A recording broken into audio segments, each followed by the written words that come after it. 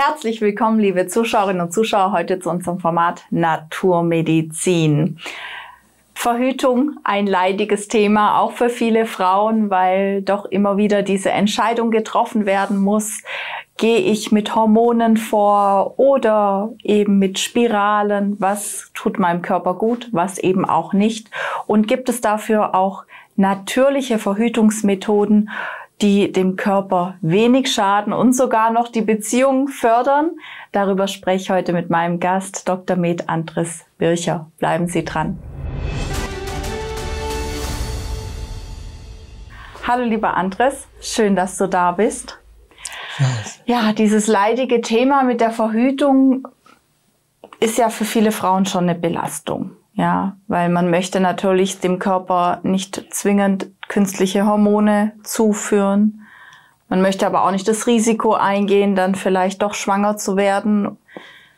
Dann eben auch diese Thematik mit der Kupferspirale, Hormonspirale. Ich habe so das Gefühl, dass uns Frauen wirklich nur so diese Cholera und Pest zur Verfügung steht, oder? Ja, ja, offiziell. Ja, eigentlich mit dieser hormonellen Empfängnisverhütung, Empfängnisregelung wurde eigentlich sehr viel Ungünstiges produziert, nicht mhm. wahr?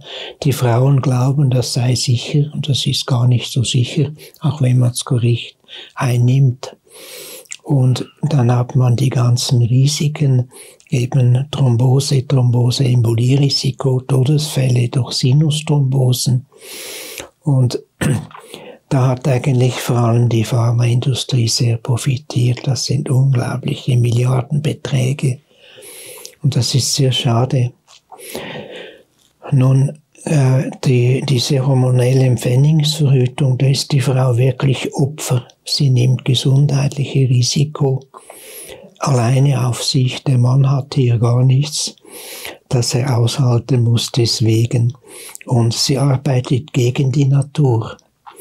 Und ihre Hormon hormonelle Regulation wird dermaßen stark unterdrückt, wenn sie das längere Zeit tut, dass wenn sie dann aufhören will und eben ein Kind wünscht, dann kommt kein Kind. Sehr oft kommt kein Kind, weil entweder der Zyklus anovulatorisch geworden ist, keinen Einsprung hat, es gibt keine Temperaturhochlage mehr, mhm.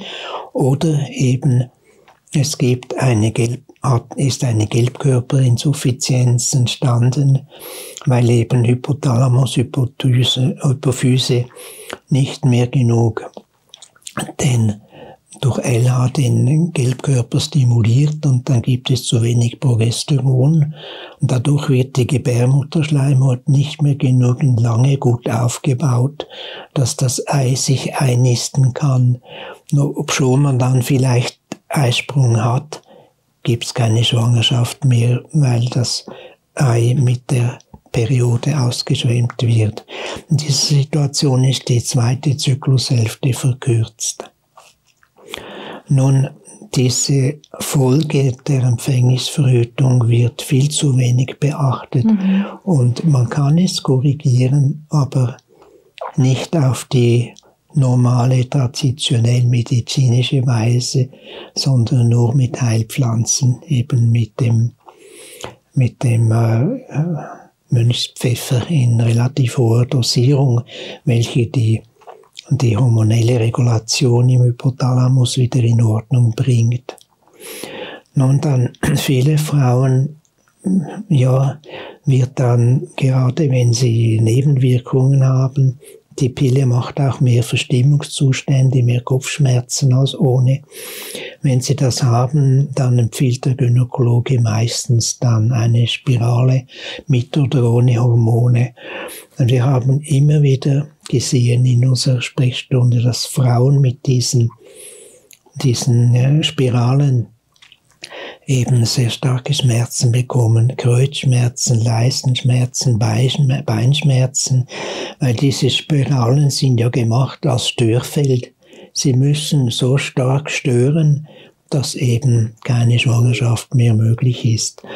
Und wenn man den, den Frauen dann das erklärt und sie die Spirale entfernen, sind die ganzen Schmerzen weg.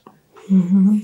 Auch mit den Spiralen ist der, die Gefahr, dass eine vaginale Infektion aufsteigt und eine Eileiterentzündung macht, ganz wesentlich höher als ohne Spirale. Wir können also beide Empfängungsverhütungsmethoden ganz und gar nicht empfehlen. Dann hat eben der deutsche Arzt Professor Rötzer ganz toll ausgearbeitet, wie man die Empfängnis in natürlicher Weise regulieren kann und hat auch den Pearl-Index mit ganz vielen Beispielen berechnet. Pearl-Index bedeutet, wie viel Prozent Schwangerschaft passieren bei 100 Frauen bei einer bestimmten Empfängnisverhütung. Und der Pearl-Index der natürlichen Empfängnisverhütung ist tiefer als derjenige mit der Pille, auch wenn man die Pille korrekt anwendet, ist nur 0,1. Also nur jede tausendste Frau wird schwanger. Und was auch eben schön ist, man kann dann diese Empfängnisregelung ist eine gemeinsame Sache des Paares. Nicht wahr? Da ist die Frau nicht mehr das Opfer und sie arbeitet nicht mehr gegen ihren Körper, gegen ihre Regulation, gegen ihre Natur. Und man kann eben in wenigen Minuten pro Tag das durchführen. Man muss nur ein bisschen Zervixschleim, also ein bisschen Schleim von, nein, von der Vagina zwischen die zwei Finger nehmen, auseinanderziehen und wenn das lange Fäden sieht, dann sagt man, ist das eine hohe Spinnbarkeit des Schleimes. Und dann ist es die Zeit, wo eben man empfänglich ist. Zu den anderen Zeiten gibt es kaum eine Spinnbarkeit. Man tastet auch noch den Gebärmuttermund aus und sieht, ob dort Veränderungen sind, welche auch zyklisch sind. Das wird einem ganz gut gelehrt. Es gibt Lehrbücher, es gibt Kurse, gibt viele Therapeutinnen inzwischen in Deutschland, in der Schweiz, welche einen da begleiten können. Nun, diesen diese Angaben, diese wenigen Angaben, natürlich die Morgentemperatur muss man bestimmen, um zu sehen, gibt es einen Temperaturanstieg und ein Hochplateau in der zweiten Zyklushälfte. Und diese Daten schreibt man in ein Protokoll, aber einfacher noch, man kann heute ein Programm in ein Handy hineinladen, kann das eingeben und dann berechnet das Programm zu jedem Zyklustag genau aus, wie der Pearl-Index ist. Und in der Zeit der Temperaturhochlage ist man mit Garantie nicht empfänglich, da kann man ruhig zusammen Geschlechtsverkehr genießen und den ersten fünf bis sieben Tagen ebenfalls. An den anderen Tagen gibt es eine gewisse Empfänglichkeit und das Paar kann die ablesen aus dem Handy und kann entscheiden, wollen wir dieses Risiko jetzt nehmen oder nicht. Und wenn man dann eine Krankheit hat, nützen diese Angaben dem der Frauenärztin sehr viel auch, um die Krankheit zu beurteilen. Und vor allem ist das sehr wertvoll, eben nicht nur für die Empfängnisverhütung, sondern auch für die Empfängnis, wenn man dann ein Kind wünscht, kann man auch den Geburtstermin viel genauer berechnen. Und man kann das sehr schön steuern, an welchem Tag man mit größter Wahrscheinlichkeit eben dann schwanger wird. Diese Methode können wir eigentlich als einzige Empfängnisregulationsmethode sehr empfehlen, sollte eigentlich jedes Paar machen. Es ist auch sehr schön zu sehen, wie das die Beziehung des Paares vertieft, weil die Frau nicht mehr Opfer ist. Es gibt ein gegenseitiges Verständnis. Die, die Paar, das Paar versteht sich besser und man muss daran denken, eben, wenn man versteht, liebt man. Und wenn man verstanden wird, ist man geliebt. Das ist eigentlich das Einzige, womit ich Liebe definieren möchte. So ist diese Methode ein wunderbares Mittel für die Vertiefung der Beziehung des Paares und für die Gesundheit der Frauen. Mhm. Ja, schön. Kann man sich ja im Grunde mit, mit der App synchronisieren, da weiß der Mann immer was. Weißt du, diese auf dem Handy, dass man das beide, ja, ja ist ja eine schöne. Kann schnell nachschauen, wollen wir heute. ja, genau. Komme ich heute früher heim von der Arbeit oder nicht? Welches Risiko wollen wir nehmen? Ja. Oder wollen wir jetzt sogar endlich ein hm. Kind bekommen? Hm. Das ist so schön. Und diese ganze Unterdrückung, diese Gelbkörperinsuffizienz, diese anovulatorischen Zyklen, das geschieht nicht mehr. Und für junge Mädchen ist das wunderbar. Man kann es mhm. ab der Menarche ihnen lehren und sie bekommen viel mehr Selbstvertrauen, statt dass sie immer Angst haben, wenn sie eben Geschlechtsverkehr haben. Es ist ein großes Problem geworden, gesundheitlich, diese Promiskuität der jungen Menschen, weil einerseits gibt es dann die bakterielle Vaginose als Geschlechtskrankheit, an der heute sehr viele Frauen leiden. Und andererseits gibt es diese Spitzenkondylome, welche eben dann eine Präkanzerose sind für den Gebärmutterhalskrebs. Und da werden die Frauen auch wieder Opfer von diesem ja, eigentlich unsinnigen frühen Geschlechtsverkehr. Man kann sich nämlich auch ohne Geschlechtsverkehr sehr viel Freude bereiten. Da gibt es so viele Möglichkeiten, dass es sehr schön ist ohne das. Und das mhm. sollte eigentlich sollten die jungen Menschen vermittelt bekommen und wieder lernen. Dann ist ein gegenseitiger Respekt, vor allem Respekt der Frau gegenüber vorhanden.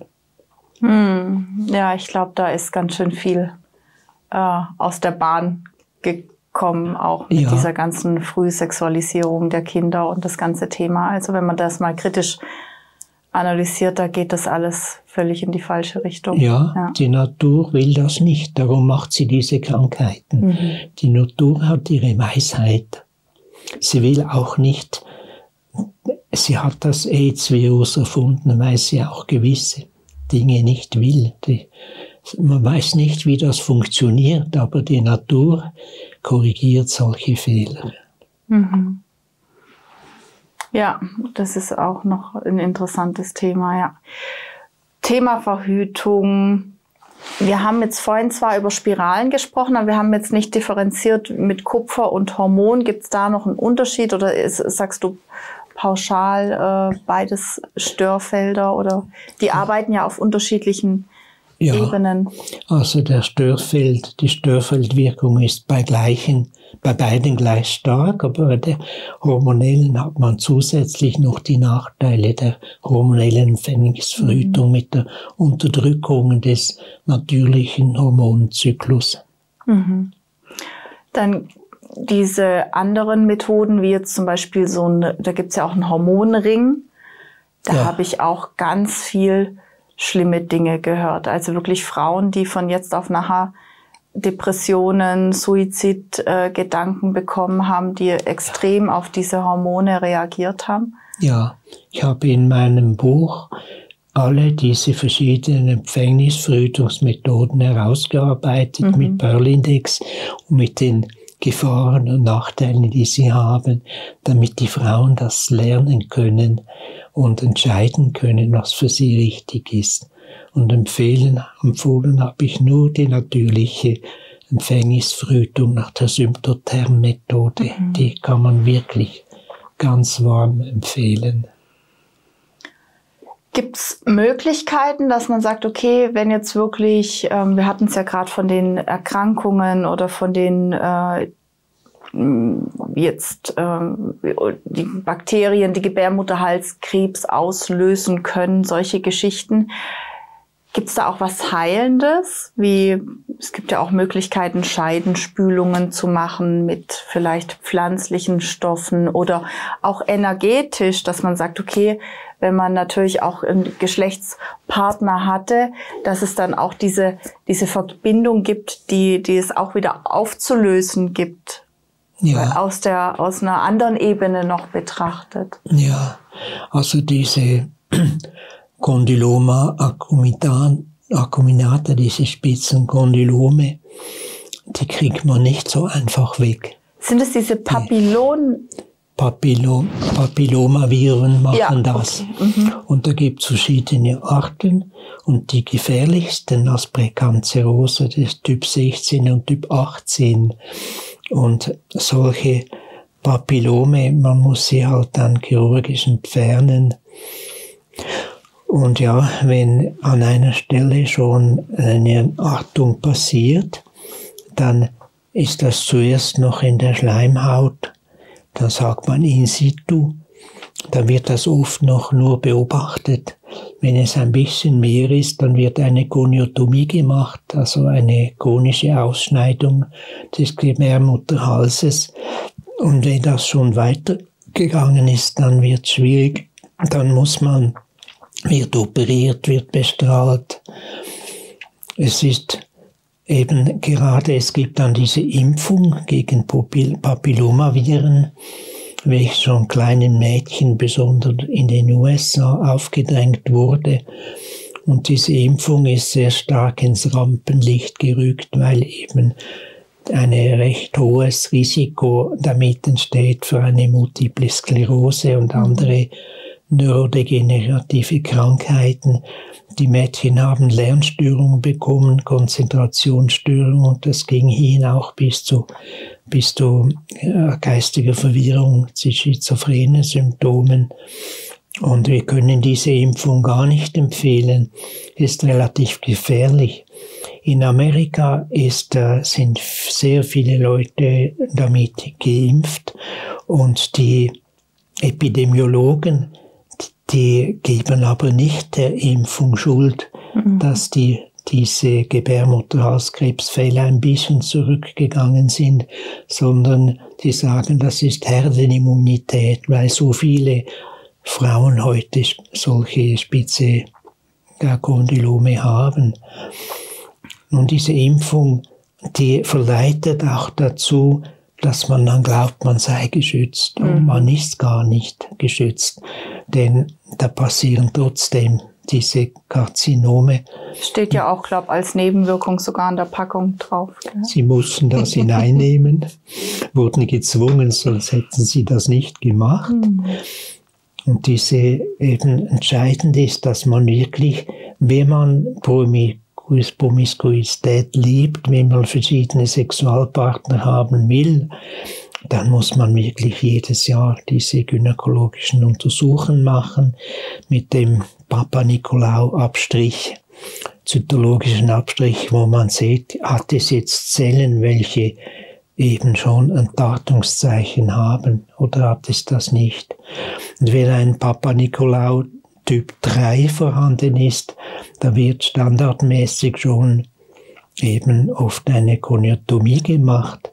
Ich habe aber vielmal erlebt, dass mit einer starken diätetischen Umstellung und mit Scheidenspülungen der Papa Nikolaus III wieder zu einem 2 mhm. geworden ist und keine solche Maßnahmen nötig wurde.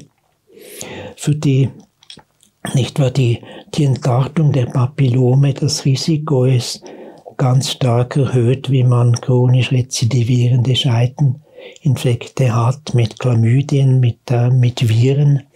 Auch Viren machen Scheidelentzündungen.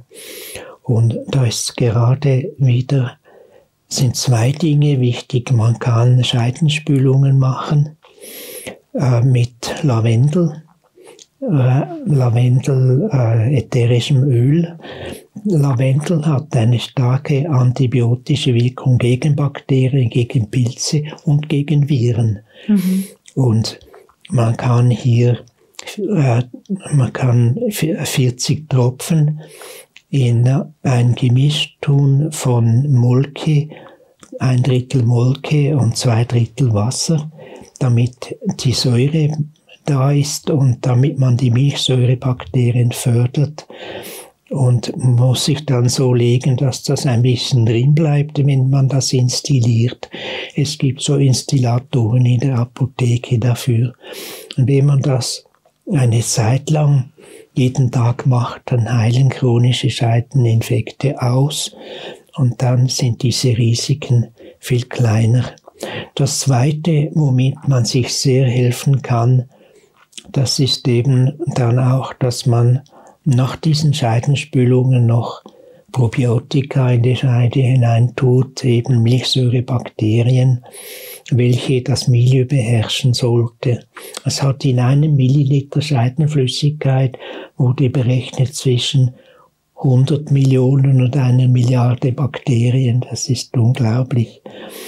Und eben die, nur wenn der pH in der Scheide sauer, sauer ist, soll pH 4 bis 4,5 sein, dann werden die krankmachenden Bakterien vertrieben und dominieren mhm. diese, diese Döderleinbakterien. Und da kann man helfen, indem man dann auch solche einführt.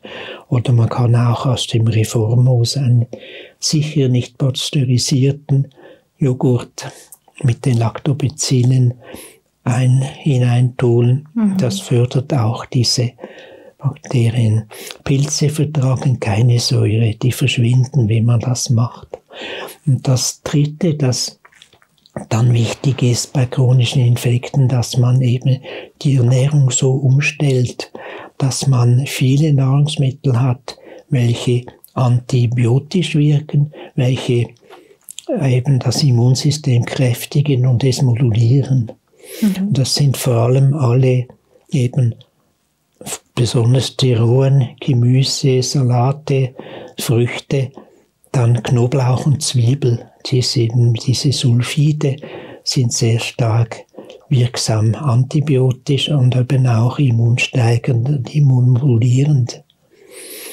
Äh, das ist in unserem Handbuch Nummer 4 mit Tabellen als ganz sorgfältig dargestellt, welche Nahrungsmittel man da wählen kann, um eine starke Wirkung zu haben. Wir haben allen Frauen mit diesen chronisch rezidivierenden Infekten haben wir diese Diät empfohlen und das hat wunderbar gewirkt.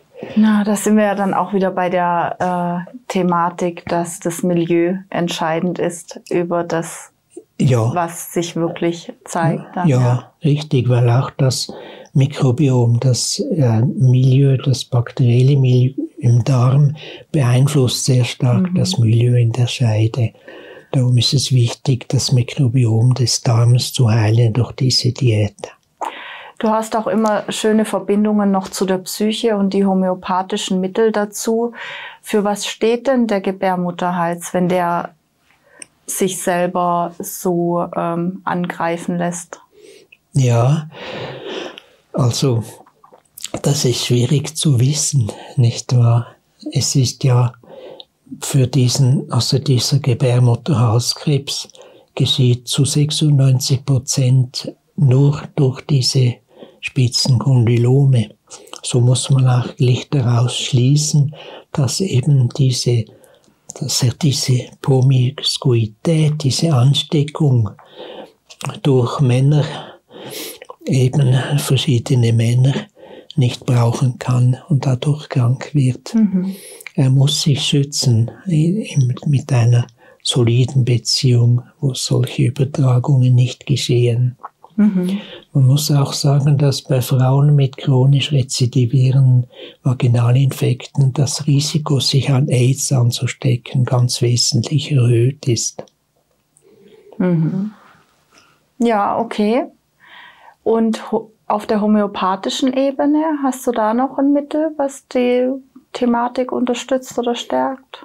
Ja, also für die für, für den Gebärmutterhalskrebs. Ja, oder? ja, einfach auch genau. Mhm. Ja, also für Krebsbehandlung, da gibt es hochinteressante Arbeiten, vor allem aus Indien. Ramakrishnan hat in Mumbai eine Gruppe gegründet mit zehn Ärzten, weil seine ganze Familie ist an Krebs gestorben. Und die behandeln nur Krebspatienten homöopathisch und haben ganz erstaunliche Erfolge. Mhm. Und wir haben festgestellt, dass man ein Mittel wählen muss, welche eben das genau Bezug hat zum Ort wo der Krebs stattfindet und gleichzeitig mit der Person übereinstimmt, mit der Art mhm. des Menschen. Und sein zweites Mittel, welches mit der histologischen Beschaffenheit des Krebsbewusst übereinstimmt, das ist dann eine Nosode aus Krebsgewebe. Gibt es drei Nosoden der eine ist Carcinosinum, das ist ursprünglich aus Brustkrebsmaterial hochpotenziert worden. Es gibt Cirinum, das ist aus Leberkrebs, der viel härter ist, potenziert worden. Und es gibt Tuya, welches aus weichen, zerfallen, geschwürigen Krebs potenziert, also welches zu diesem stimmt. Und man äh, gibt dann den Patienten dort immer eine Woche lang das Mittel, das individuelle Mittel und eine Woche lang die entsprechende Nosode. Und die haben wunderbare Resultate, solange keine Metastasen sind. Nachher mhm. wird es schwierig, allein mit der Homöopathie mhm. zu heilen. Die haben viele Beispiele zusammengestellt, wo sie Astrozytome, Glioblastome, wo sie Leberkrebs geheilt haben und eben auch Brustkrebs und äh, Gebärmutterhalskrebs. Das ist äh, ein, eigentlich ein sehr guter Weg, den man in der Krebstherapie einsetzen kann. Und ein wichtiger anderer Weg, das ist eben, sind die Heilpflanzen. Mhm. Weil die Zytostatika, die die sind nicht selektiv, die zerstören den gesunden Körper genauso wie die Zellen des, der Krebsgeschwulst. Einzig den Unterschied, dass die Krebsgeschwulst sich ein bisschen weniger gut erholen kann, kann man nutzen. Hinzu kommt, dass eben bei soliden Tumoren die Zytostatika gar nicht gut hineingelangen und dann oft nicht wirken. Anders ist das mit Heilpflanzen. Und da gibt es eben jahrhundertelange Erfahrungen in, in uh, Brasilien, Mexiko in, und auch in asiatischen Ländern von Naturärzten, welche ganz schöne Resultate haben wie Krebsbehandlung mit Heilpflanzen. Und in Brasilien ist ein Register aufgebaut worden in der Universität mit den Heilpflanzen, von denen die Krebszellen zerstörende Wirkungen in Labortests an Krebszelllinien wissenschaftlich belegt ist. Und da gibt es eben Pflanzen, die man nur dort bekommt. Aber es gibt dabei Pflanzen, die man bei uns sehr gut bekommen kann, zum Beispiel Aloe Vera, Mariendistel, Symphytum, Calendula, so für uns gewöhnliche Heilpflanzen, für die eine starke krebsbekämpfende Wirkung nachgewiesen ist. Aber viele dieser Inhaltsstoffe dieser krebsbekämpfenden Pflanze sind in der Rohkostdiät in den lebendigen Pflanzen, die wir essen können, auch vorhanden. Mhm. Und diese Diät ist sehr stark krebsbekämpfend auch. Eben die Sulfide von Knoblauch, Zwiebeln und dann hat man die Carotinoide, man hat die Flavonoide, Glucosinolate und so weiter. Das sind alles Pflanzenstoffe, die Krebs sehr wirksam bekämpfen, so dass man auch gar keinen bekommt. Mhm. Super spannend. Ich könnte wieder stundenlang mit dir weiter sprechen und dir zuhören. Jetzt sind wir zwar vom Thema Verhütung noch über die Krankheit jetzt wieder eben zur Rohkosternährung gekommen. Und ja, ich hoffe, dass du bald wieder uns besuchen kommst, dass wir dem Thema wirklich noch, du hattest ja jetzt auch noch einige ja, tolle Themen im Bereich Frauenleiden, die wir noch gemeinsam anschauen können. Ja. Und gerne. ja, freue mich und bedanke mich sehr, dass du dir die Zeit genommen hast. Ja, danke auch. Hier zu sein. Danke, lieber ja. Andres.